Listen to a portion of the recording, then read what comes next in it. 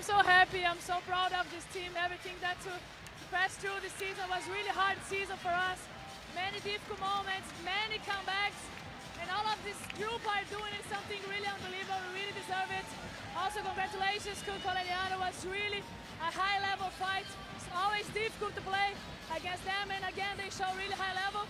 But like I told you, we really wanted to win everything to bring these five cups this, is, this season for us, and this group really deserve. I'm really emotional because I really love this team. I really love this family, and as how I, like how I say, like when we play like this, believing in, like keep fighting all the time, we always can make something incredible, something unbelievable, and again we did against a great opponent.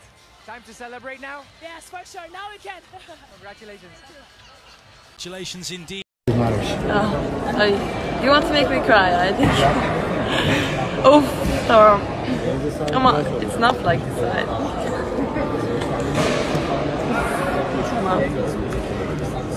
Gabi's like an amazing person, we're really close friends, and um, she's been like by my side this whole time in VakifBank, and we share many good moments together, and uh, she's really incredible, like player, personality, mentality, hard worker. She's super amazing, and I wish everyone meets her and gets to know her. So much.